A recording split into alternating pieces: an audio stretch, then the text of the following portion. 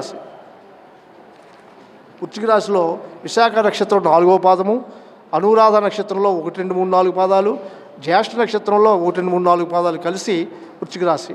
ఈ రాశి వారికి ఆదాయం ఐదు వ్యయం ఐదు రాజపూజ్యం మూడు అవమానం మూడు. అయితే ఈ రాశి వారికి గ్రహస్థితి ఏంటంటే ఆరింట గురుడు పంచమంలో రాహు చతుర్థంలో శని వీరికి అర్ధాష్టమ శని అంటారు. శని చతుర్థంలో ఉంటే ఏమంటారంటే అర్ధాష్టమ శని. శని ఎక్కడెక్కడ దోషపదుడు అంటే ఏలినాడు శని అష్టమ శని అర్ధాష్టమ శని మూడు రకాలు. ఏలినాడు శని అయితే ఏడున్నర సంవత్సరాలు ఉంటుంది మిగిలిన రెండు కూడా రెండున్నర సంవత్సరాలే. వీళ్ళకి అర్ధాష్టమ శని ప్రారంభమైంది ఈ ఏలినాడు శని ఈ వృశ్చిక వరకు. అయితే ఇక్కడ తృతీయ చతుర్థాధిపతి అవ్వటం వల్ల ఈ అర్ధాష్టమ శని ప్రభావం వీళ్ళకి ఏం ఏమాత్రం ఉండదు. ఈ శని ప్రభావం వీళ్ళకి ఏ విధమైనటువంటి నష్టాన్ని కలగజేయదు. ఇక్కడ గురుడు కూడా ధనాధిపతి ఆరుంటూ ఉండటం వల్ల కొంచెం వీళ్ళకి ఆర్థికంగా ఇబ్బందులు ఉంటాయి. ఆర్థికంగా ఇబ్బందులు ఉంటాయి. అదేవిధంగా కొన్ని అధికంగా రుణాలు కూడా చేయవలసి వస్తుంది. వీరు ఎంత సంపాదించినప్పుడు కూడా ఎంతో కొంత అప్పు చేయవలసిన పరిస్థితి ఉంటుంది. ఖచ్చితంగా రుణం చేయాలి.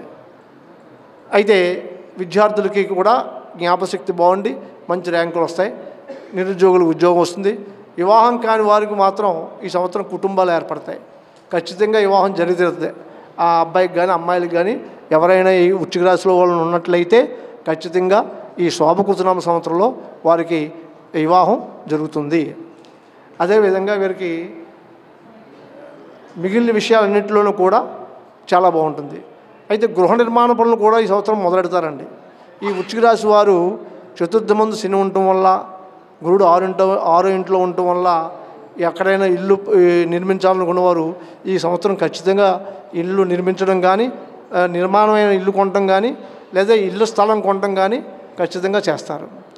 ఇక అయితే ఈ రాసుల వారికి కొంచెం ఇబ్బంది ఉందండి. ఏంటంటే పంచమరాహు పంచమరాహు కొంచెం భయభ్రాంతులను కలిగేస్తాడు కొన్ని అనుకోని దుస్సంఘటనలు జరుగుతాయి.